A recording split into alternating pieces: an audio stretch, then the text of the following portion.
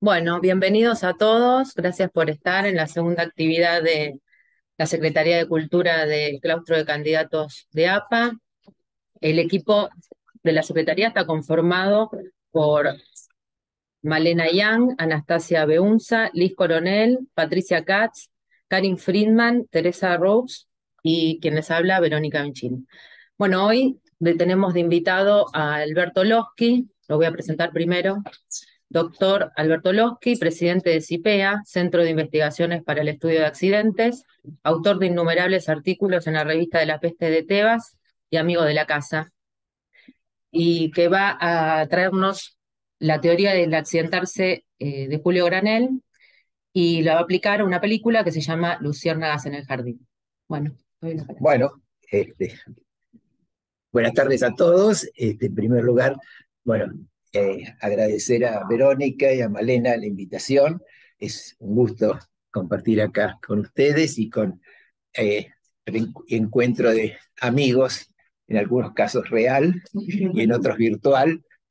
Este, así que, bueno, empecemos. En, en, rigor, cuando me invitaron, yo había pensado hablar de otras cosas, que de ahí partió el título de la presentación, abordaje psicoanalítico del accidente, Luego, Malena y Verónica me dijeron que esto está más dedicado a cultura, a arte y que, digamos, más comúnmente en películas. Entonces se me ocurrió una película que presentaron unos alumnos en el último congreso de CIPEA fin del año pasado, que es la que se les hizo llegar a todos, y, este, y se me ocurrió que era muy adecuada como para presentarla. Eh, Así que, este, eh, bueno, les, hicieron llegar el link de la película y el trabajo este, de los alumnos que son Luisa Barca, Cintia Huarte, Cintia Kobrisky, Ernesto Leibe y Daniel Schiedel. Este,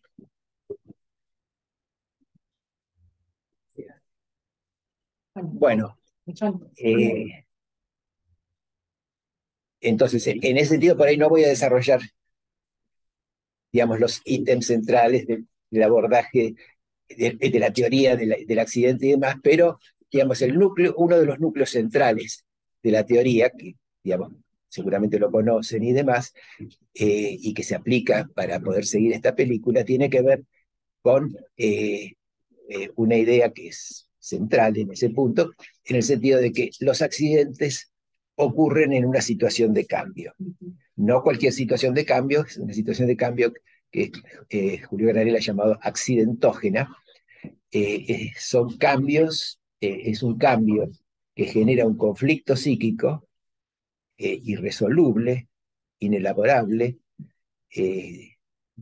animado por una excitación inconsciente que empuja al cambio, pero al mismo tiempo es un cambio, la otra parte del conflicto, que se hace imposible o muy difícil y que eh, el accidente lo, lo, desarrolla.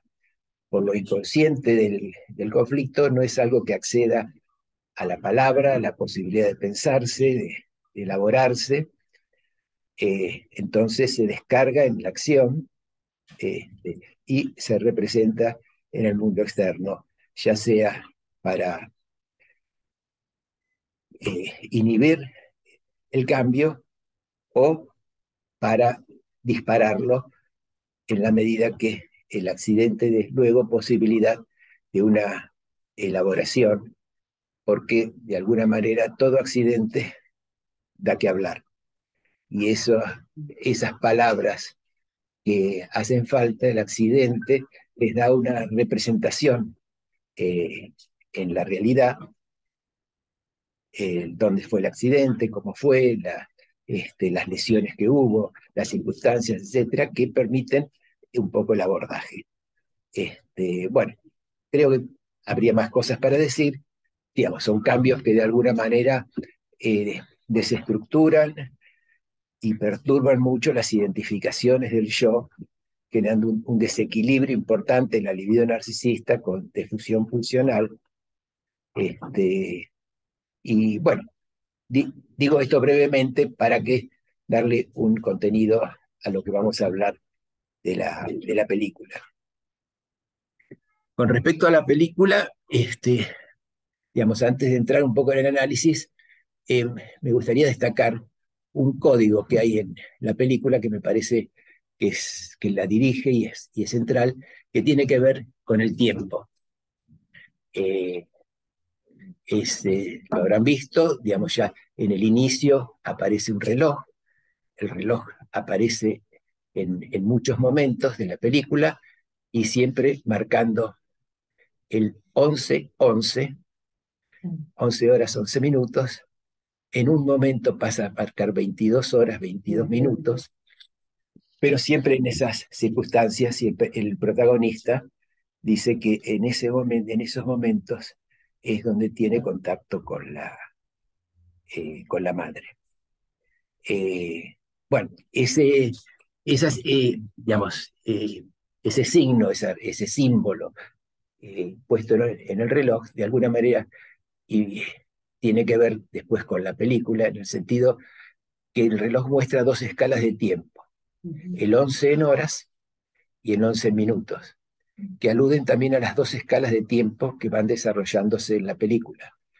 La infancia del protagonista y la adultez del mismo. Pero al mismo tiempo no es cualquier hora, sino que son dos números iguales, uno, uno, que aluden un poco también a eh, la relación narcisista, el ligamen incestuoso que tiene el protagonista con este, con la madre y que de algún modo eh, conjuga esa situación eh, dos eh, situaciones ligadas al tiempo. Por un lado, la evolución del tiempo, de la infancia a la adultez, y por otro lado, la inmovilidad del tiempo, donde esa hora es siempre la misma. Es el 11-11, donde alude a una inmovilidad que está a lo largo de toda la película.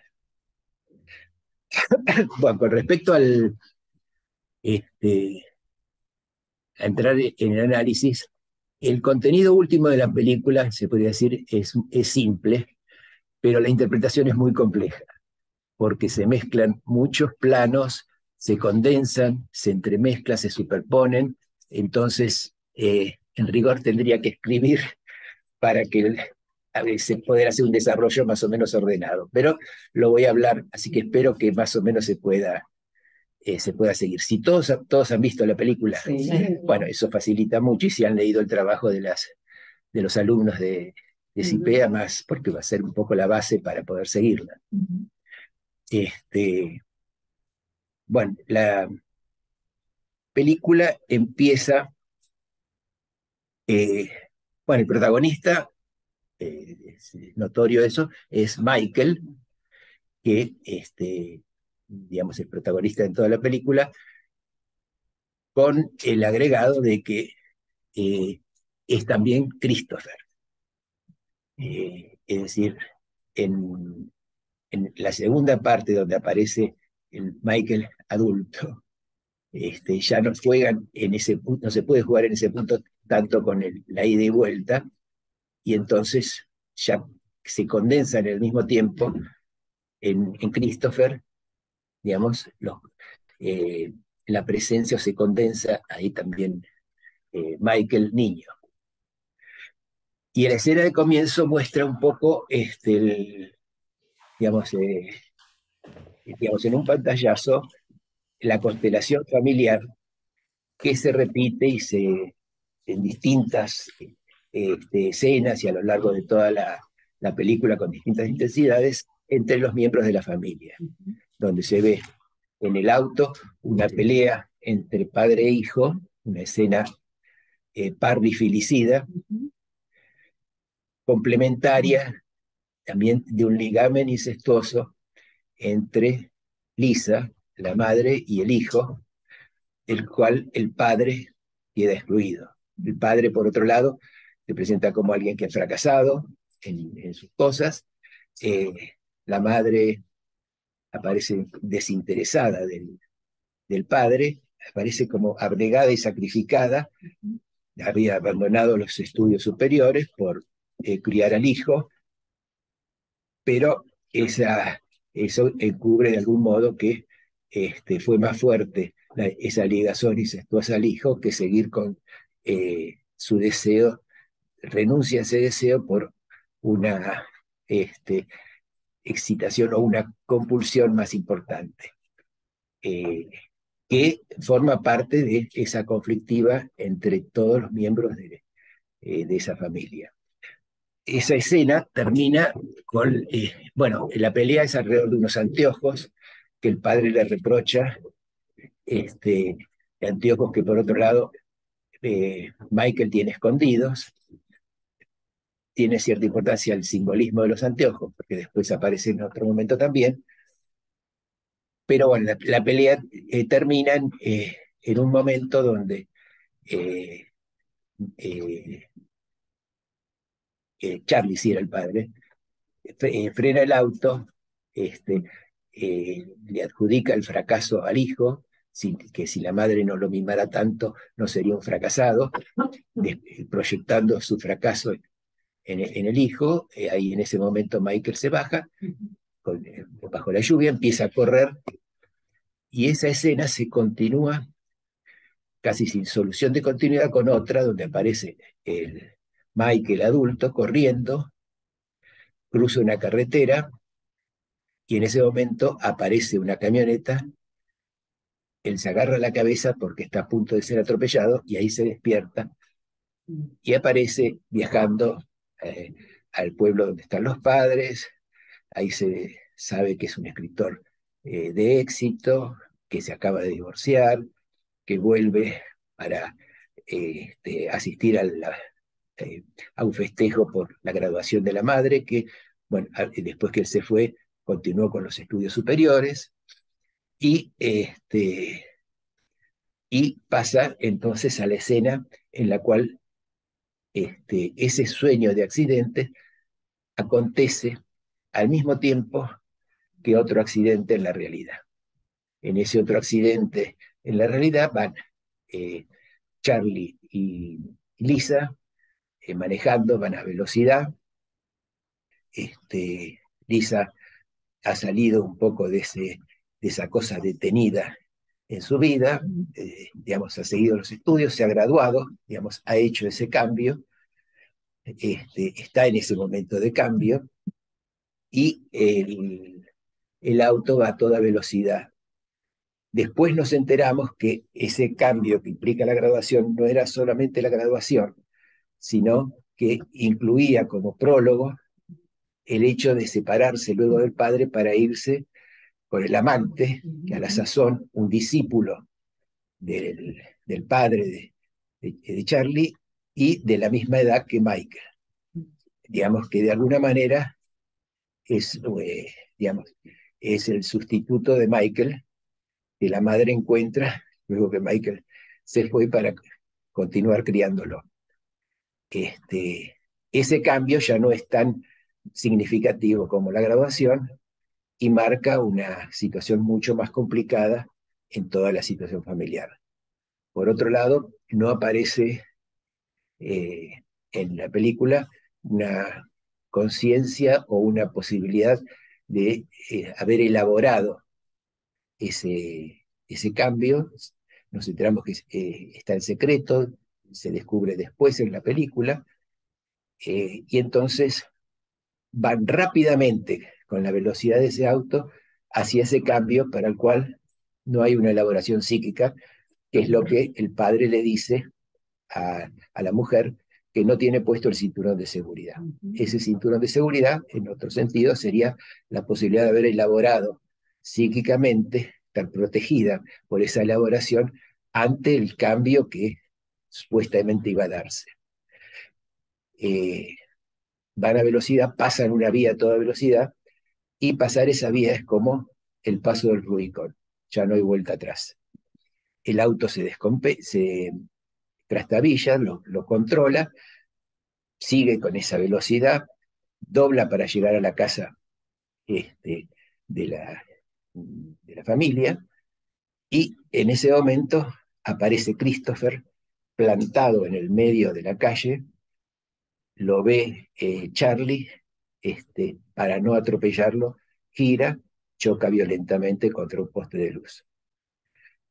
Eh, digamos, reproduce esa escena, la escena del sueño, donde está Charlie este, en la carretera y el auto que lo va a atropellar. Acá aparece Christopher en el medio de la calle y el auto que lo va a... Eh, Christopher se paraliza, podemos decir, hay ahí un conflicto, como aparece en los sueños. Cuando en los sueños aparece la parálisis, eso marca un conflicto donde lo que tira para un lado y tira para el otro tiene la misma fuerza, entonces uno queda paralizado. Este, digamos, entendiendo que es Charlie el que está ahí, está entre enfrentar al padre y afrontar la muerte, o eh, correrse, eh, resguardar la vida, pero este, eh, digamos, renunciando a la, al enfrentamiento y a la pelea.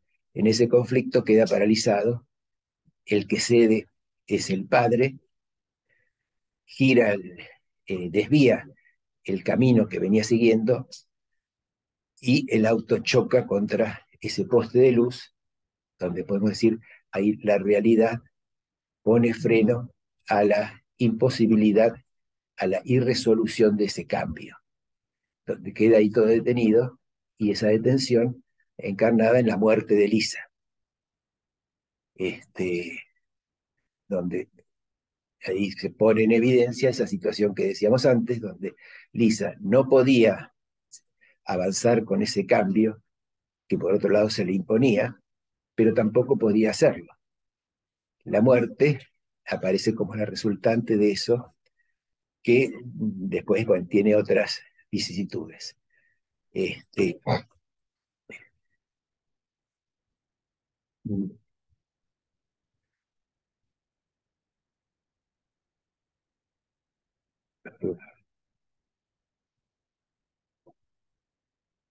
Bueno, entonces el accidente acontece en, en todo ese momento de situación de cambio donde, eh, digamos, esa ligazón incestuosa que atrae a, Lisa este, queda en conflicto con todo lo que se opone a eso y esa situación es la que queda este, detenida e imposibilitada. Eh, bueno, a partir de eso eh, se ve a, Michael que eh, llega, se encuentra con el pueblo donde fue la infancia y entra en esa infancia. ¿no? Le dice a la hermana que quieren ir al mismo café cuando eran chicos, entra a la casa y se pelea con la sobrina como si fuera un chico, dos hermanitos, este, diciéndole que es la casa de él, eh, va al cuarto de él, se encuentra, sale por la ventana y sin verlo, sabe que está ahí Christopher y le habla, eh, van a jugar con Christopher y la hermanita al mismo juego que él hacía con, este, con Shane, la tía, este, está en, toda, en esa situación donde como si no hubiera pasado el tiempo.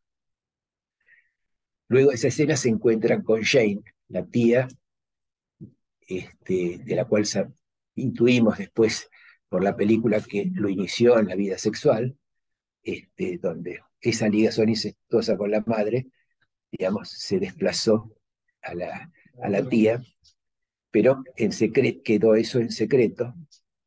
Este, Michael detenido en esas escenas, pero al hablar con, con Jane, cobra conciencia que Jane, digamos, no quedó detenida, ¿no? que continuó con el tiempo y eso lo sacude de alguna manera y la muerte de la madre, que hasta ese momento lo, tenía impávido, eh, le provoca otro, otro clic y es donde aparece llorando en la iglesia, este, desencajado, como si tomase contacto ahí no solo con la muerte de la madre, sino es estar detenido él en el tiempo, etcétera, que lo lleva a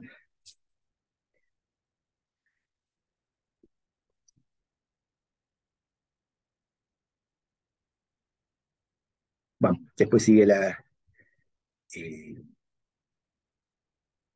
la película, a ver, porque se mezclan mucho las escenas. Y alguien me recuerda cómo sigue después el...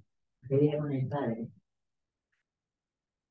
O que ven el video de cuando eran chicos, con la madre. No, eso es al final. Al final. Sí, hay, bueno, varias peleas con el padre. Este, bueno, ah, la escena del velorio también.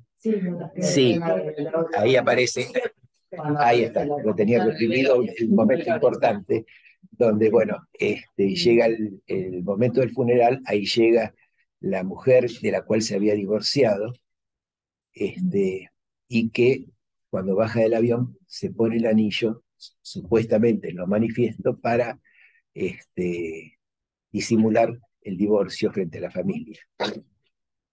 En ese contexto, este, llega la, eh, la mujer, que la había invitado a la tía, este, empieza el padre a hablar en el, en el funeral de la, madre, y este, la pareja este, de, Kelly y, Michael, que están divorciados, que se encuentran arriba, de golpe, rápidamente, bruscamente, casi sin solución de continuidad, estas separación aparecen este, en una eh, atracción pasional, este, sexual, este, eh, que supera todo. En la, eh, digamos, en el funeral de la madre en el piso de abajo y ellos empiezan en una eh, relación sexual alocada este, en la cama, que era la cama de, de Michael. Es como si en ese momento uno podría interpretar, es como si de golpe el cadáver de Lisa se hubiera encarnado en la, en la mujer de, eh, de Michael y aparecen ahí nuevamente el imán y la atracción incestuosa que genera ese, eh, esa tormenta pasional en la cual, eh, digamos, tienen ese, esa, esa, unión sexual que da lugar después a un embarazo. Paralelamente, el ruido que hacen se transmite al, al, lugar donde está el funeral. Y este, hay dos personas que se ríen, que son Jane y Rain, la hermana, que son este, esa risa de alguna manera denota cierta complicidad con la escena de, de, lo que está ocurriendo. No, no es solamente que se dan cuenta que están cogiendo, sino que ellas de alguna manera participan en ese acto sexual, porque Jane había, fue, digamos, tuvo esa cosa sexual con, con Michael, y este, Rain, la hermana, este, recuerdan la escena, una escena después de la pelea con el padre, donde aparece la madre embarazada, le muestra la panza, le hace tocar, habla de los nombres y él este, eh, le dice que el nombre que le podía poner era Rain, el nombre que en definitiva le puso como si Rain fuera eh, la hija que tuvo con la madre.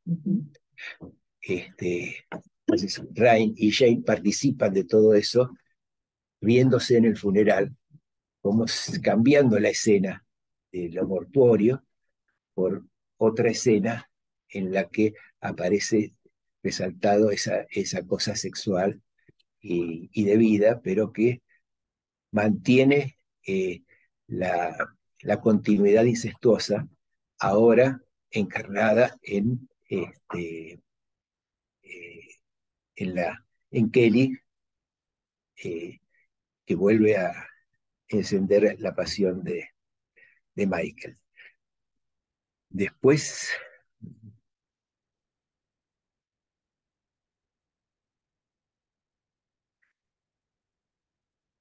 Ah, bueno, después viene la escena, interesante esa, donde tiene que leer un poema, mm.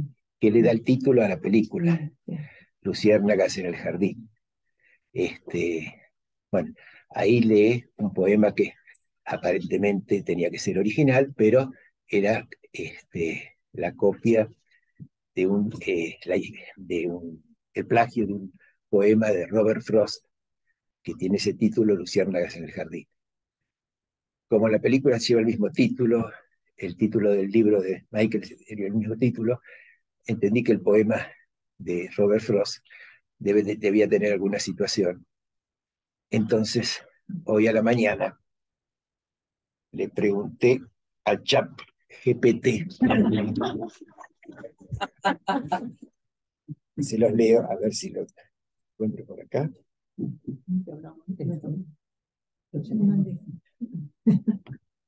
Acá está. Le pregunté, ¿qué interpretación se le da al poema de Robert Frost, Su luciérnagas en el jardín? En menos de medio minuto me responde esto.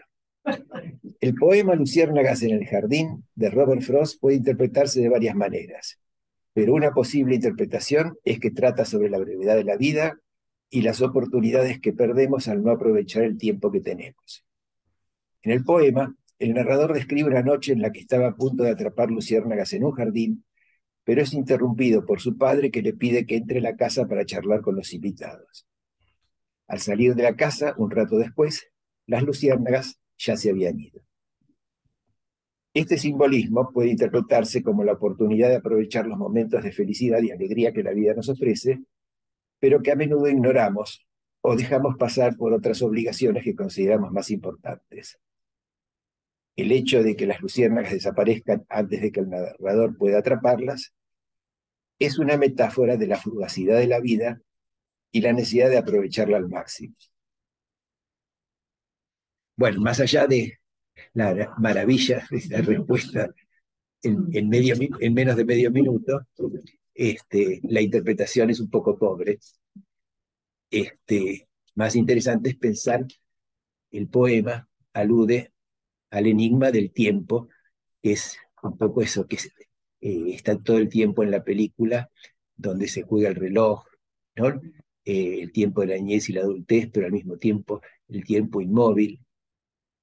Eh, me pareció más apropiado unos versos de Borges sobre el tiempo, donde termina en ese poema, deben conocerlo, cuando habla del fin de año, de las doce campanadas, este, y donde dice el, enigma del tiempo es eh, el asombro del milagro que a despecho de innumerables azares que a despecho de que somos las gotas del río Heráclito, algo este, eh, eh, se conserva en nosotros, dos puntos, inmóvil. Digamos que más allá de esa continuidad hay algo inmóvil. Eh, después, como sigue, la película se puede considerar que eso inmóvil, ¿no? que es el núcleo de, la película eh, eso que está presente en los infinitos azares, pero siempre eso mismo, es este, eso que está como ajeno al tiempo, separado del, eh, no entra en el tiempo, y es lo que, bueno, eh, en psicoanálisis, tomando los conceptos y los desarrollos de Cesio, llamamos lo actual. Actual en el sentido no de que es presente, sino de que eh, siempre es presente. Eh, poéticamente, eh, Borges habla de eso como lo inmóvil. Y en otro, en verso, en otro poema sobre el tiempo también, habla del instante. Dice, el instante, fugaz y eterno, está solo. La memoria erige el tiempo. Eh, uniendo ahí en, esos versos la inmovilidad, eso que se mantiene inmóvil en el instante y este, el devenir del tiempo, que es un poco con lo que juega. ¿Cómo? La compulsión de repetición. Eh, bueno, está incluido ahí la compulsión, y después cuando aparece en la, en la, la compulsión de repetición ya incluye un poco en el hecho mismo de la repetición eh, ese, eh, ese devenir del tiempo, ¿no? más profundamente se puede decir es lo que es, está siempre ahí. Después, bueno, se da toda la situación del...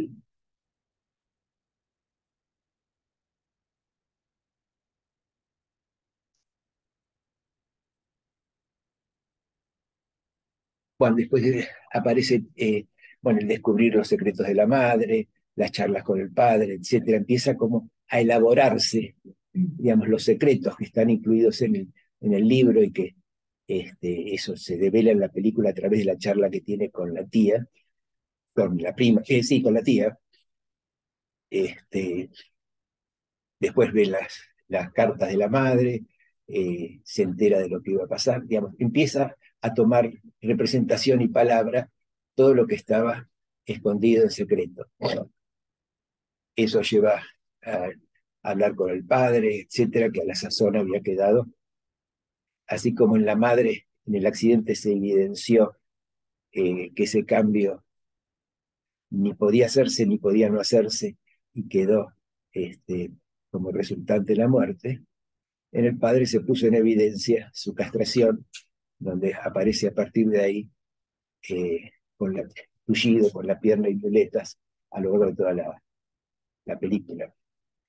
Eh, bueno, eh, entonces hablando con el, con el padre, se dan esas situaciones, se encuentra con el amante de la madre, tienen esas charlas con él, son un espejo prácticamente, este, parece que le, da una, le despierta una violencia enterarse de eso, pero paralelamente la, el devenir de lo que pasa sugiere que, bueno, eh, ese amante es él, eh, lo cual le cambia la, eh, la situación.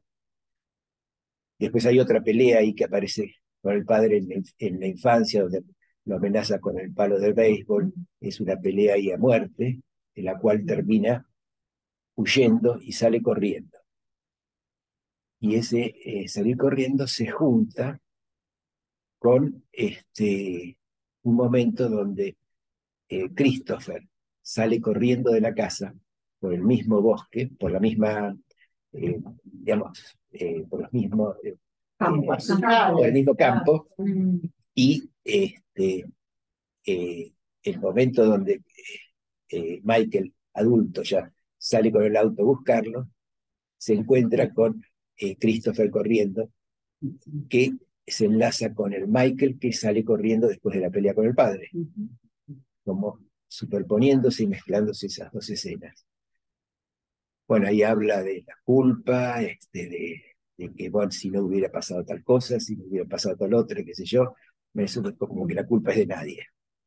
Este, eh, bueno, después se encuentran, se encuentran en la tumba de, de la madre, la película continúa ahí con este, la escena esa de la película de la familia feliz, este, el, el anuncian el embarazo que tienen, este, se terminan yendo y mientras se van, este, ella, eh, eh, la hermana le pregunta si tienen el nombre del chico, ella dice que no, qué nombre se le puede poner, y él dice Max, este, que era el nombre que él le había dado a la madre en caso de que fuera varón.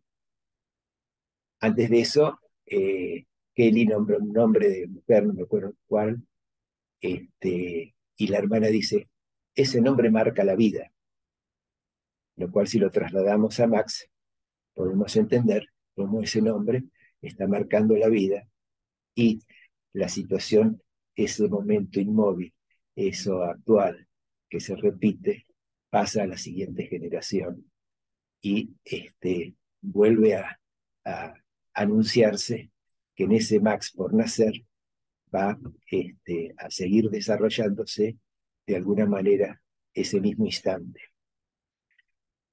Bueno, esto es una interpretación. Cabe otra interpretación. Este, así como en los sueños, cuando Freud dice, cuando en un sueño si, eh, aparece un sueño dentro de un sueño, dice, ese sueño dentro del sueño es realidad. ¿No? Alude a algo en realidad donde el calificarlo como sueño es para disminuirle la, la tensión. Entonces podríamos decir que a la inversa de lo que aparece en todo el desarrollo de la película, el momento donde Michael, al comienzo de la película, está corriendo en el sueño, cruza la carretera, viene una camioneta y lo está por atropellar, podemos decir, eso es lo que ocurrió. Ese es el accidente que ocurrió. Digamos, ahí eh, la camioneta lo atropella y lo manda. Y en el instante de morir, tiene ese sueño de cumplimiento de deseos que es el desarrollo de toda la película. ¿No? Eh, donde quedan invertidos los, los papeles, los roles, y así como quedan invertidos los papeles, se puede interpretar otra inversión que hay, porque aparece Michael como que se separó de la mujer porque la mujer se emborrachaba. Deberíamos este, especular que eh, en la realidad, no en el sueño, él era el borracho, que este, se emborrachaba, digamos, no tolerando un poco la situación de, del desprendimiento, manteniendo todavía esa ligazón incestuosa, la mujer lo, eh, lo deja, lo abandona, él queda sin la posibilidad de avanzar, detenido en el tiempo, atraído por esa liga incestuosa, y es en ese contexto donde es atropellado y muere, y donde en ese, en ese instante de la muerte, donde transcurre toda la película, es, eh, eh, digamos, ese, ese instante fugaz y eterno, ¿no? Que está presente en todo momento. Este, bueno, esta es una elucubración, este, pero me gustaría que podamos hablar.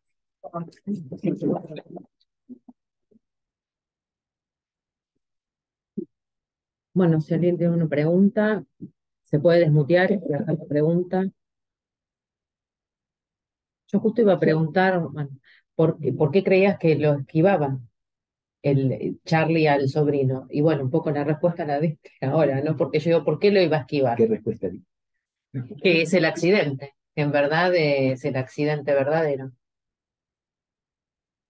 Que efectivamente Ah, lo, que, que lo lo atropella. atropella, claro, Ah, sí, sí, efectivamente sí. lo atropella. Este, sí, si el sueño después invierte Claro. la situación, hace morir, ah, claro, porque hace morir a la madre en el sueño, si tomamos esa otra segunda interpretación.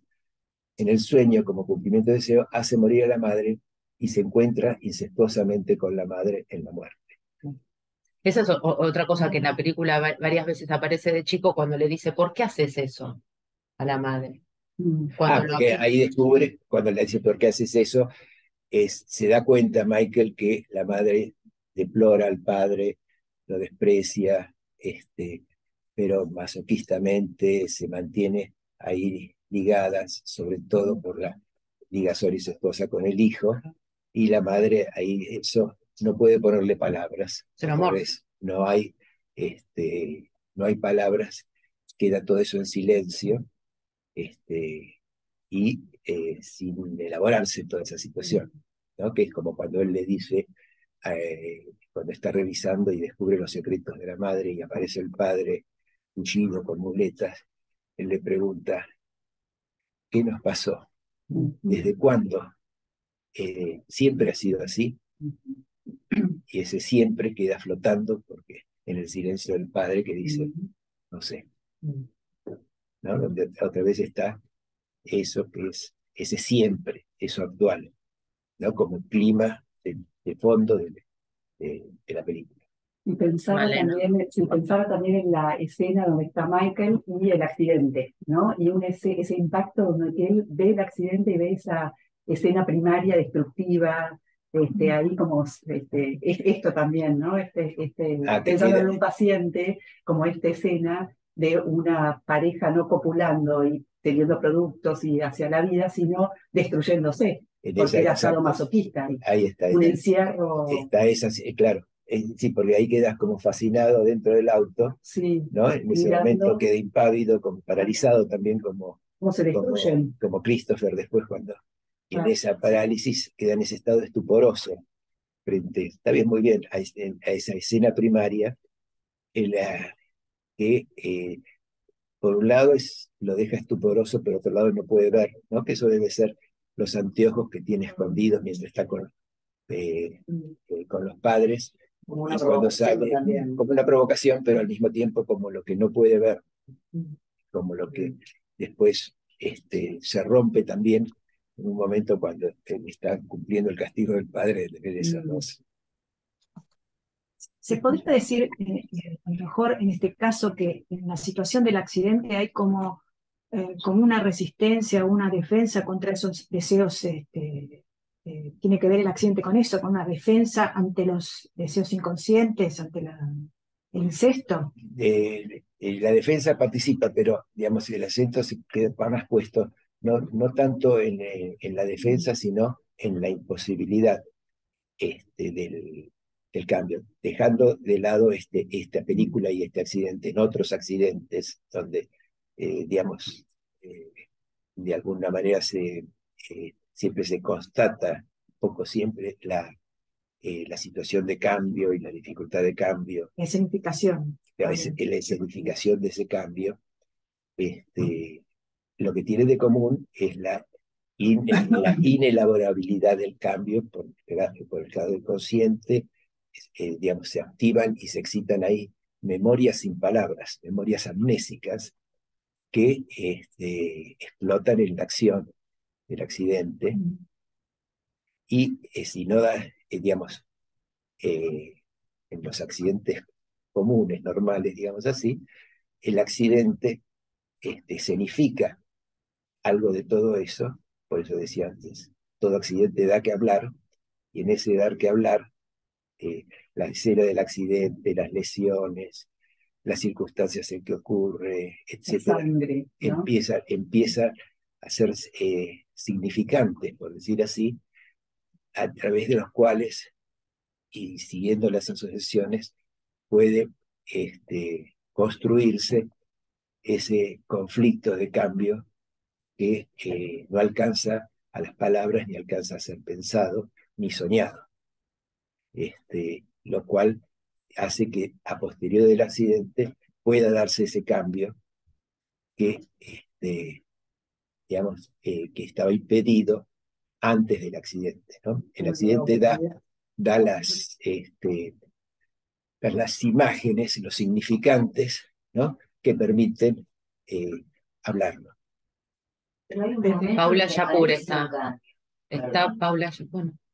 Hay un momento que parece plantearse un cambio donde el padre dice voy a cambiar porque la madre lo pone entre la espada y la pared. Esto suena como extraño, ¿no? De repente aparecer como un sádico terrible, de golpe cambie y ahí es donde se aparece la renguera porque queda como castrado, que no es realmente un cambio, ¿no?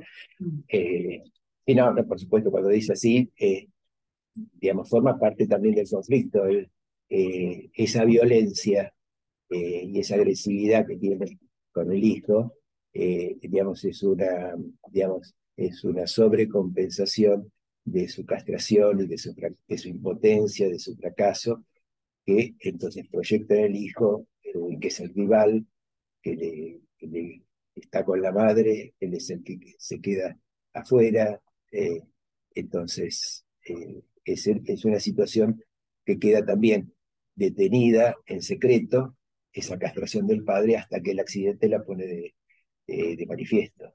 Pero eh, no, digamos, este, en ningún momento se da ese cambio. En la expresión de, en, si la tomamos en la segunda interpretación como, eh, y volviendo a la primera, eh, el cambio estaría dado cuando muere la madre, el cadáver de la madre se se encarna en la exmujer, continúa la situación incestuosa, pero desplazada ahora en la mujer, da lugar a que, digamos, pueda quedar, embarazar a la madre en la mujer, tener el hijo al cual él le había puesto el nombre, y que este, eh, en forma desplazada se repita la situación en esa otra generación. Con lo cual, se puede decir, ahí, sin que haya un cambio, porque algo se mantiene, hay un cambio en, en esa continuidad, hay un devenir del tiempo, ¿no? que está marcado también en la, eh, en la escena de, de infancia este, de la familia feliz festejando el cumpleaños de Michael, como que en ese momento Michael cumple años, o sea, empieza a entrar en el tiempo, ¿no? Y mientras en toda la película está siempre en el 11-11, en, eh, en el mismo instante, que es el instante en el cual dice se une a la madre. Paula Japón. Por otro lado, también se podría decir que es la hora de ahora te doy después me, digamos, es la hora por ahí en que eh, la camioneta lo atropelló, donde se detuvo el reloj. Sí. Sí. Me pregunta es, desde el psicoanálisis se puede abordar la interpretación de un accidente sin conocer la teoría de Granel. ¿Cuál es el aporte, lo que hace diferente el, el tener esa teoría a mano para poder usarla en la clínica? Ese es siempre el punto que tenemos que, que rescatar, porque es como que claramente el psicoanálisis sirve para interpretar un Por accidente. supuesto. Y el giro ese que le dio Granel Y es, eh, se puede decir que la, eh, la parte teórica y todas las, las ideas que hacen eh, al accidente, se puede decir, es el instrumento que nos da ese instrumento que posibilita este, manejarnos y trabajar las resistencias que impiden que uno se meta en, en esas memorias amnésicas eh, y uno quede eh, subyugado o detenido en el accidente. Fue un accidente y que no da que hablar. Eh, eh, esas resistencias, eh, si no son las ideas de Granel, digamos, tendrá que buscarse de otra manera, pero hay que atravesarlas y toda la teoría de los accidentes, que son, les recomiendo el libro de, de Granel, que es un desarrollo, digamos, son 40 años de desarrollo que tenemos en eso.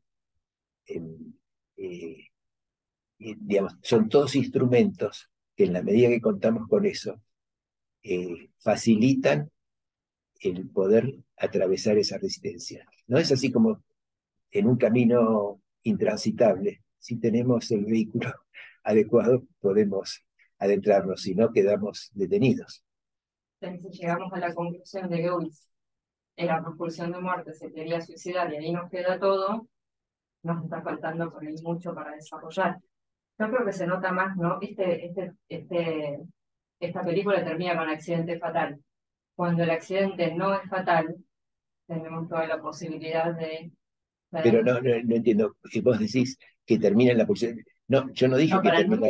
para que no quede así. para que no quede así, claro, digo yo, cuando uno puede utilizar también el psicoanálisis como resistencia, las explicaciones Ah, sí, sí, sí. psicoanalíticas como resistencia. Ah, por supuesto, por supuesto. Uno puede atravesar eso para ver ya, sí, cómo sí. la otra parte. Sí, como la elaboración secundaria del sueño. Sí, seguro. Este, pero en, en, e- en ese punto no, eh, no queda tanto en, en el caso del accidente en, en la, en la situación puesta tanto en la, eh, en la muerte como el instante final. Ese instante final no es algo que muere, ¿no? Es como en el verso del golpe, ¿no? El, el instante fugaz y eterno, está solo la memoria dirige el tiempo. O sea, ese instante sigue viviendo. Eh, es decir, eh, no hay un, eh, un punto final más que en la memoria, en todo caso. Este, Laura Bauso. primera pregunta.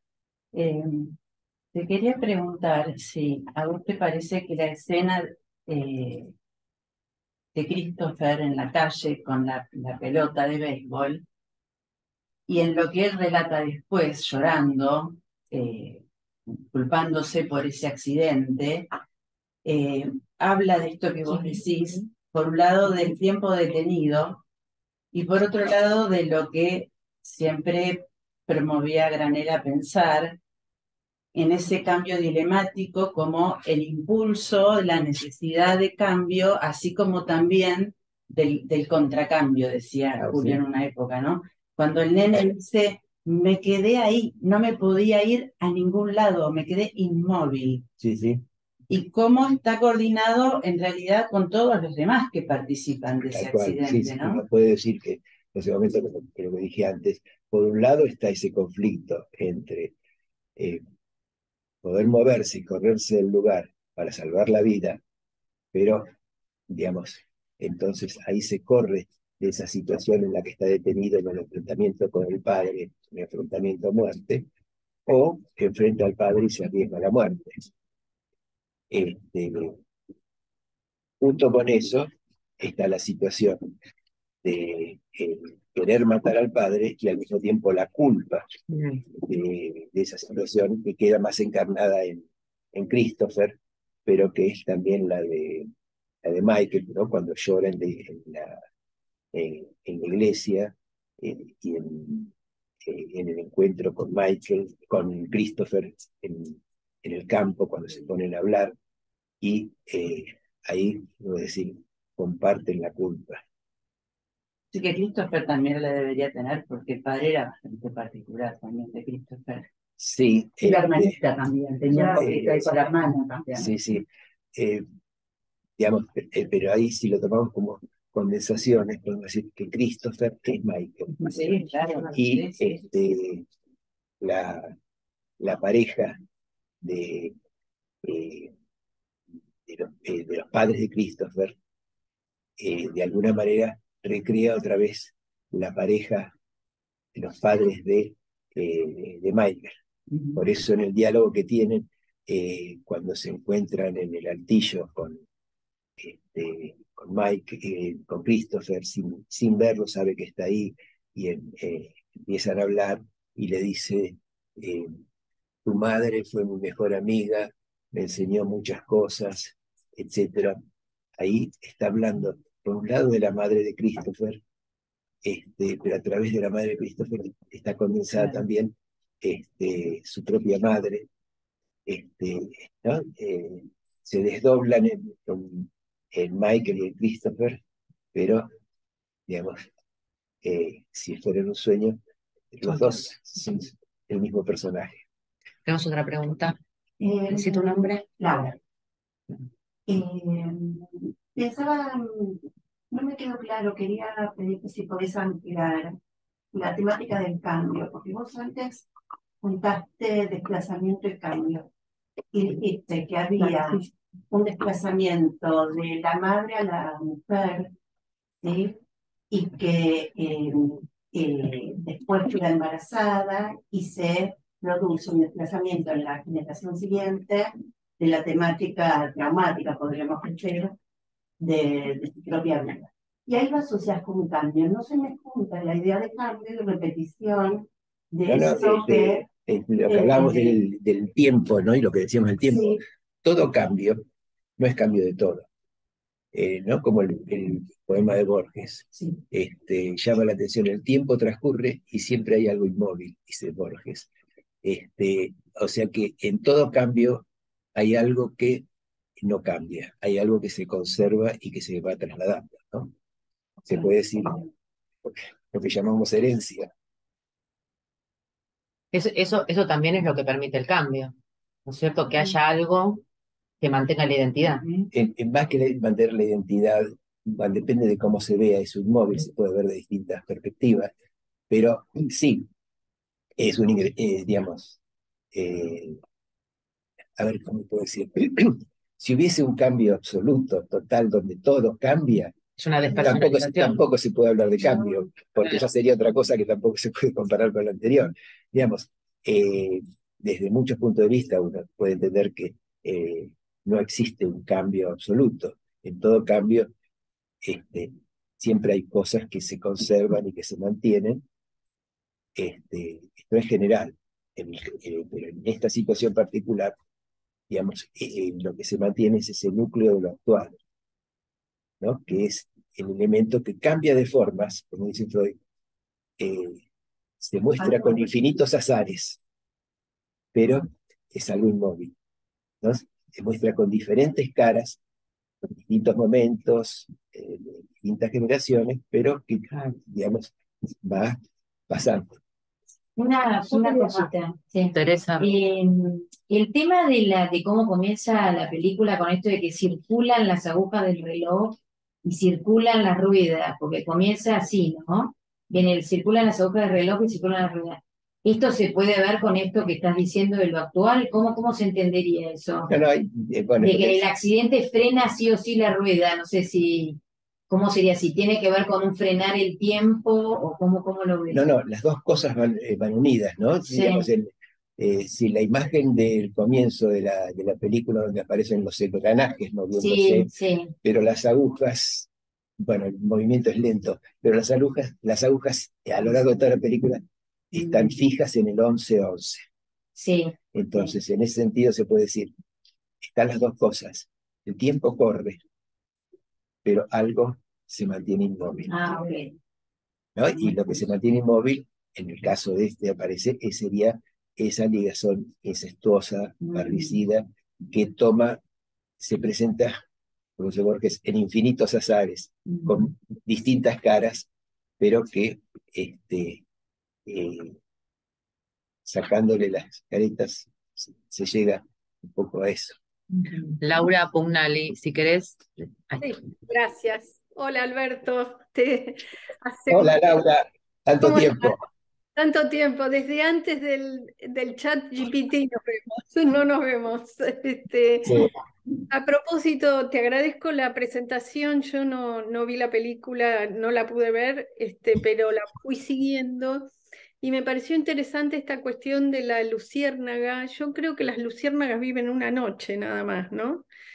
Este, son efímeras realmente, y pensé en esa noche donde ocurre el sueño, ¿no? Que el sueño es la representación del accidente inmóvil, el accidente que se está, que está ocurriendo todo el tiempo, eh, que es este, el filicidio, parricidio y el incesto con la madre. Ese es el accidente que se sigue representando en, en un, eh, eternamente, ¿no? En, en la película.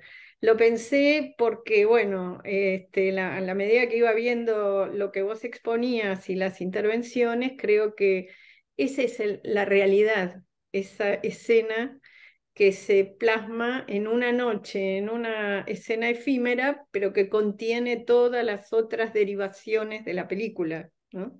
Sí, sí. Este, me pareció interesantísimo cómo lo, cómo lo planteás. eh, Bueno, te, te agradezco. Sí, ahora que mencionaste las luciérnagas, este, bueno, yo leí la, la, interpretación que da el chat GPT de- del poema de, de, de Frost, pero el poema de Frost eh, eh, asocia, eh, eh, la interpretación es como que, digamos, eh, el padre cuando lo invita, cuando lo hace al, al hijo entrar a la casa para que esté con invitados, eh, digamos, eh, lo, lo saca de esa diversión que tiene cazando luciérnagas. Pero en el poema las luciérnagas eh, representan o metaforizan un amor que está en el cielo. Rosa Modni, Hola a todos, la verdad que muy interesante, eh, muchísimas gracias. Eh, quería eh, preguntar, el- yo sé que esto se, se refiere más que nada al tema del accidente, pero a mí me hizo acordar este tema de, mm, de la inmovilidad, ¿no? De, la no, del no poder eh, realizar un cambio y que ese cambio se ve posibilitado, porque de alguna manera algo cambia después del accidente, ¿no? Eh, yo me preguntaba si no se puede aplicar una situación similar en casos de enfermedades, cuando personas que no pueden realizar un cambio y, y bueno, uno también se pregunta por qué la gente se enferma, ¿no?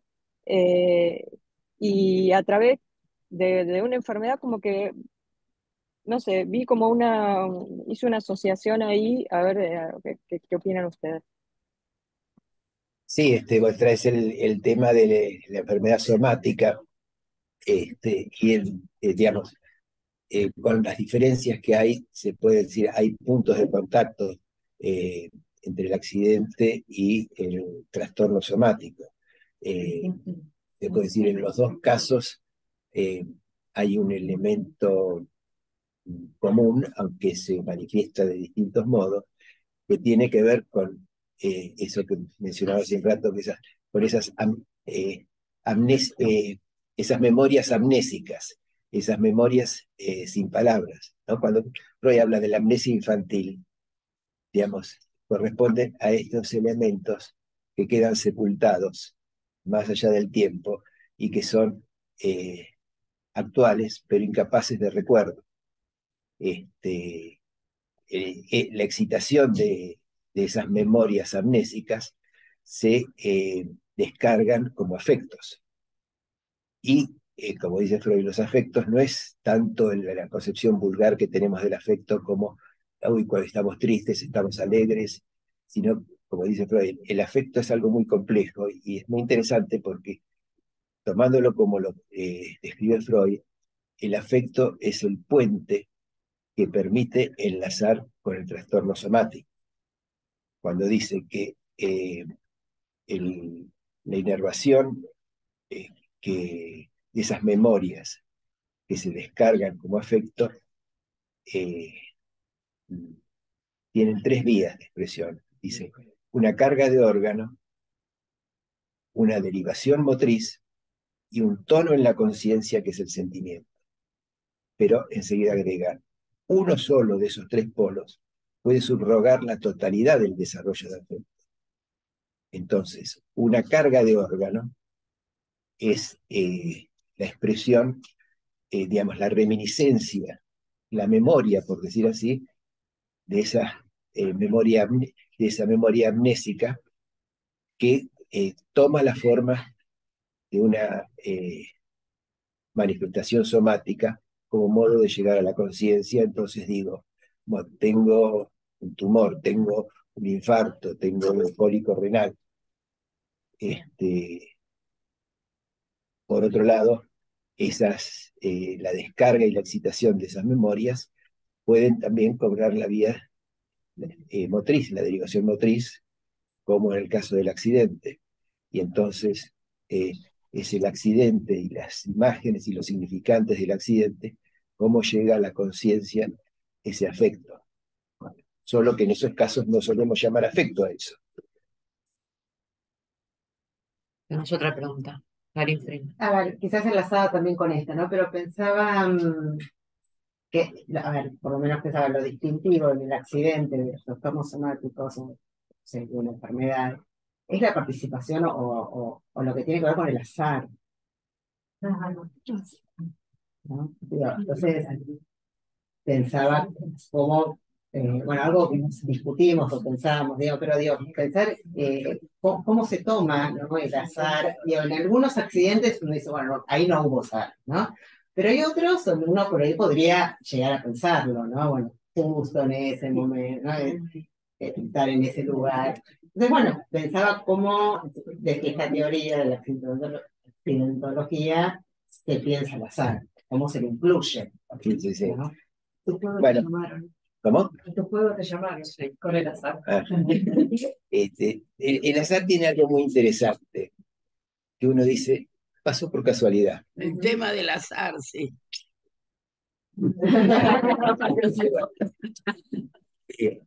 Y este siempre queda, pasa desapercibido un, un aspecto que cuando decimos que ocurrió por azar, eh, dejamos entre paréntesis o al costado que le estamos dando mucho sentido a eso y por eso decimos ocurrió por azar. Y no nos abocamos al sentido, eh, a la, a la, gran carga de sentido que tiene eso que ocurrió por azar. Cuando nos metemos en, en ese sentido, ahí se va disolviendo el azar y encuentra una coherencia, este, eh, eh, digamos, donde se disuelve un poco esa, este, eh, esa aleatoriedad azarosa. No sé si te queda, si queda, si explico algo con esto.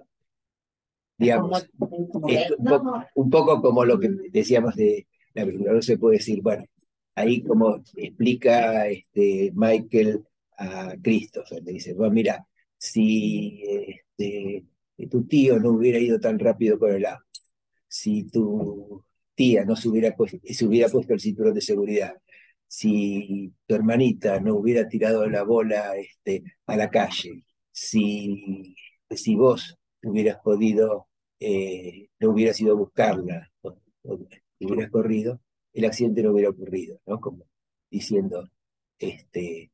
Eh, Por ejemplo, cómo armar esa escena. Claro, ahí, es, ahí, ahí, es como si estuviese diciendo todo esto.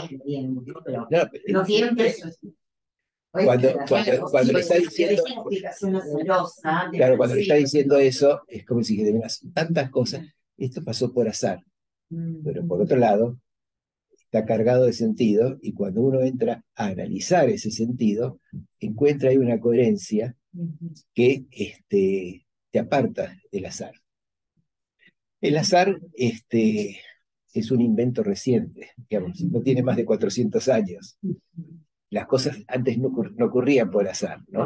Si en una tribu, si en una tribu eh, primitiva alguien se caía de un precipicio, no era azaroso eso. En los sueños las cosas no ocurren por azar. Este, el azar es, digamos, un, eh, un artefacto de eh, la ciencia moderna, digamos, nace con Newton, se puede decir. Este... Y que Freud trae en tocar las cosas confundido también la intencionalidad inconsciente. Claro, sí. Incluyendo ahí... Eh, ¿se puede afirmar que uno busca el accidente? Sí, sí, este, es, eh, uno, no es uno, no es...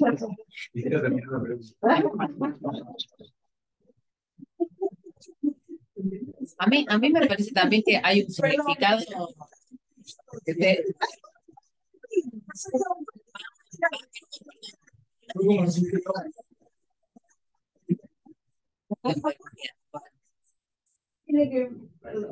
No, no. ¿Cómo ¿Y cómo sigo? Que hay un, hay un significado del diccionario de accidente que conocemos todos. Y hay otro significado que es el que trae, digamos, la teoría accidental. Lo mismo que el azar. Por ahí hay un significado del diccionario y este es otro significado del azar. Este. Sí, en, los griegos eh, la palabra azar no existía, era tige.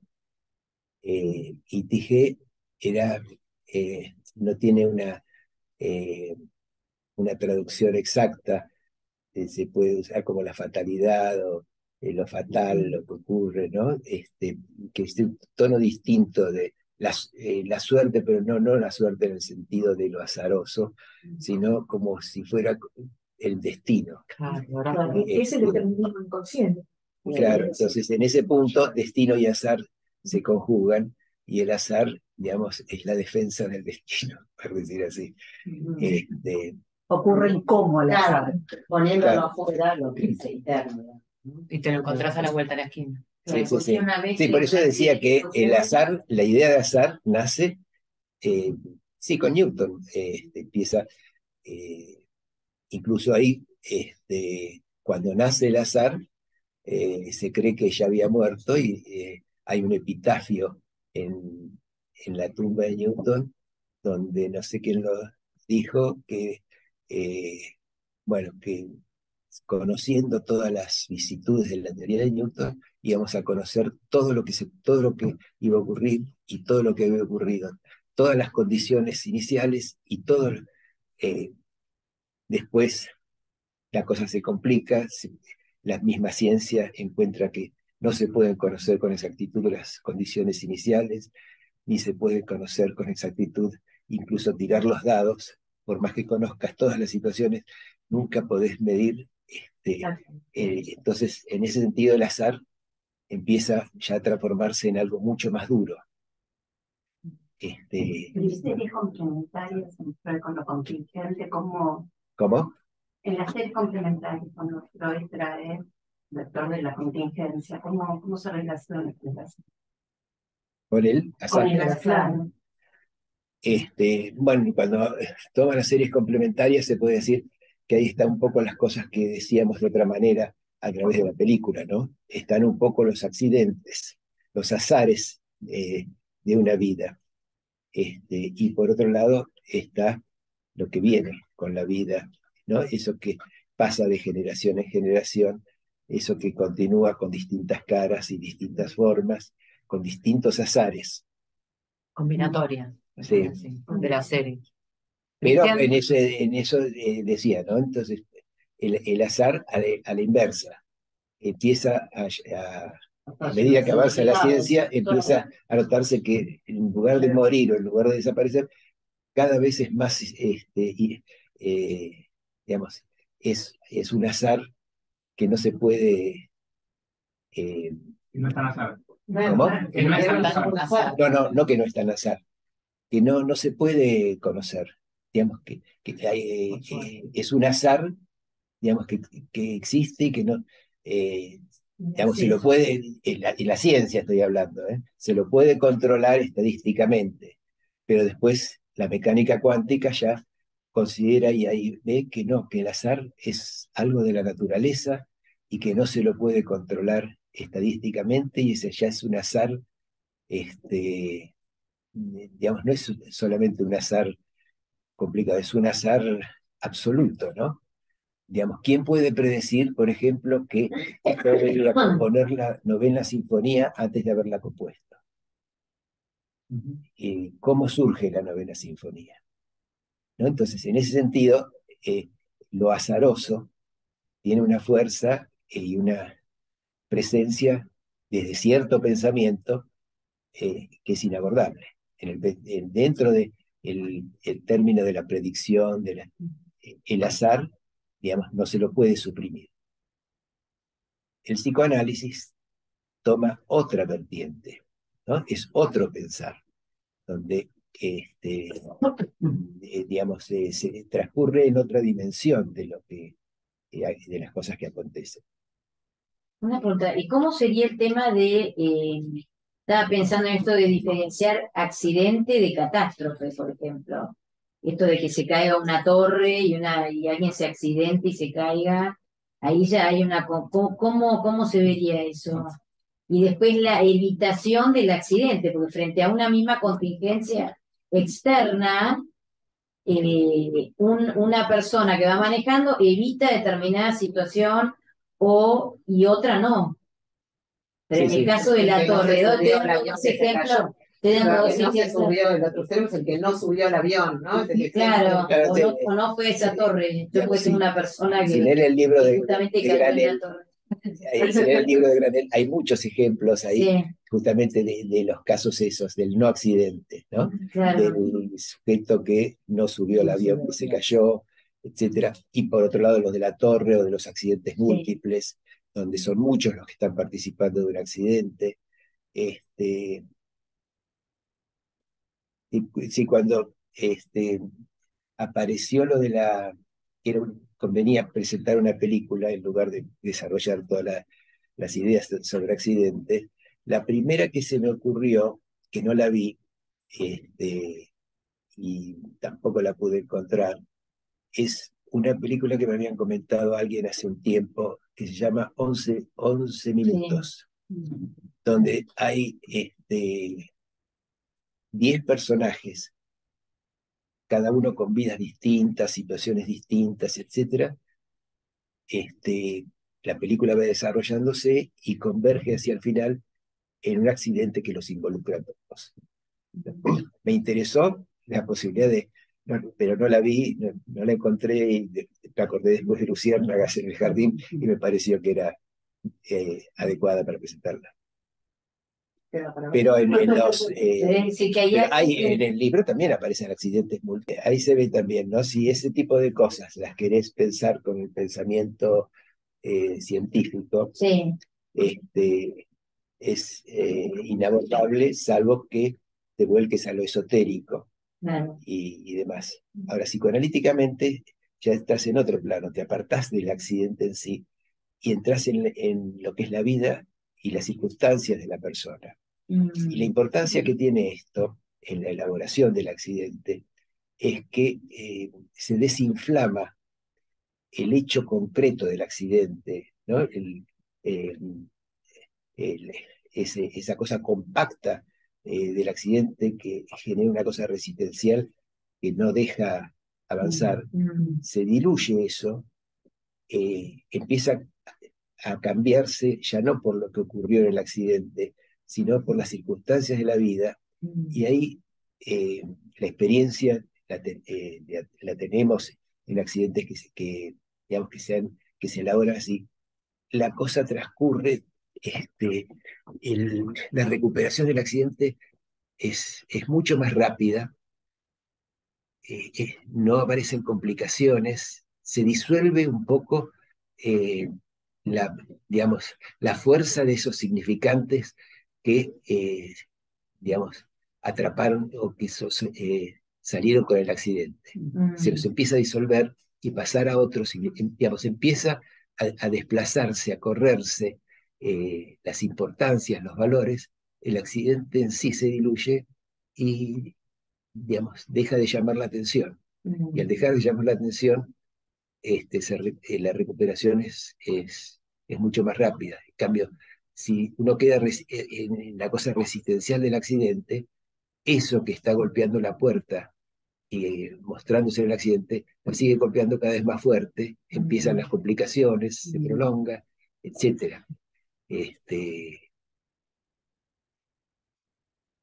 Nos queda un minuto, Paula, quería decir No, algo. que relacionado con esa torre, hubo otra familia, un nene empezó a decir, se levantó a la mitad de la noche y dijo, hay mucho ruido, hay mucho ruido, esto, esto cruja, esto los levantó a todos y la sacó a la familia Ah, entera. Esto es lo mismo que creo que está en el libro. El tsunami.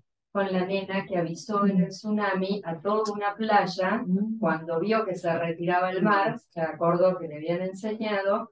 Entonces hay algo que a veces los chicos no tienen, que posibilita conectarse con lo que está pasando, que la pulsión, de o sea, hay algo obturado en el que se queda en un lugar peligroso. La.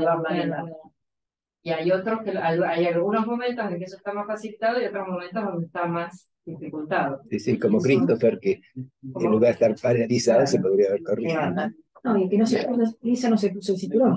También. Cuando le el marido le dice que se lo ponga, está avisando que puede pasar algo y ella no mm, quiere poner el cinturón. Claro, pero ahí sí están las cosas de- del determinismo inconsciente, porque es, eh, digamos, no es por ponerse o no ponerse el cinturón de seguridad, porque no todo el que, se- el que no se pone el cinturón de seguridad se accidenta ni le pasa algo. Eh, digamos, en el sentido ahí de la película, el no ponerse el cinturón de seguridad es la expresión de que no tiene, eh, eh, digamos, no está protegida por la elaboración psíquica de lo que le está pasando. Graciela nos dice, Graciela Matías, que la teoría de Granel aplica el concepto de multicausalidad de Freud. También Graciela es de Cipena. Bueno, estamos en, en la hora. Bueno, Te bien. agradecemos No, mucho. agradezco. Gracias. El próximo. Hasta luego, muchas gracias. Muchas gracias. Gracias por el libro. Dale a la CIR también te lo ¿Eh? Ale, la. Sí, sí, sí. También te lo Eh, mando. Me mandó un WhatsApp. Ah, Sí. Gracias. Gracias.